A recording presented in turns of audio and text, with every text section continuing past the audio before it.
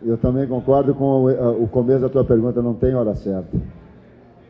É, porque na medida que eu sabia que na medida que o tempo passasse, se eu fosse técnico do adversário, eu sabia que nós estamos jogando a favor do tempo também. Deixa a pressão para eles, trabalha a bola, chama a falta, uh, demora para bater o lateral. Por quê? Porque é do jogo. Quebra o ritmo do jogo.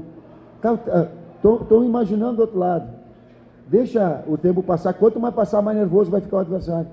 E nós passamos todo o primeiro tempo e quase mais da metade do segundo e manteve a intensidade, a concentração. Acho que eu consegui o termo exato. O time manteve muito concentrado o tempo todo.